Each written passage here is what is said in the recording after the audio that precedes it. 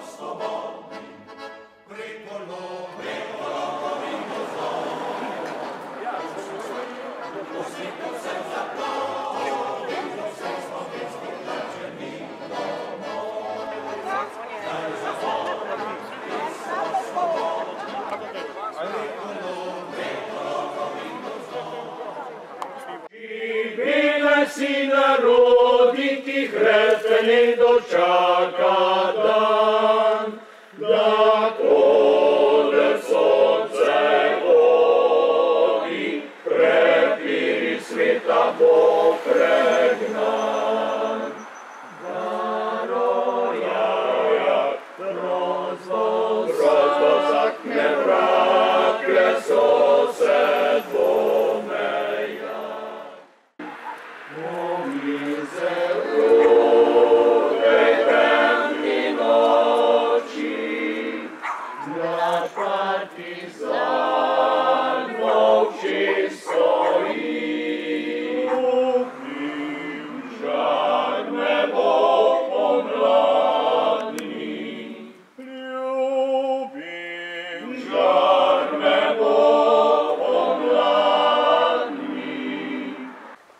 Spoštovane obiskovalke in obiskovalci, tovarišice in tovariši, lepo pozdravljeni na svečanosti ob spominskem dnevu občine Dolenjske Toplice.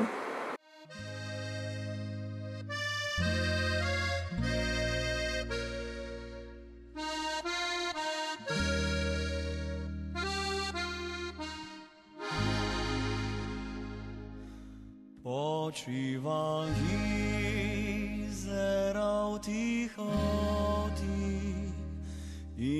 listje rahlo mi šumi.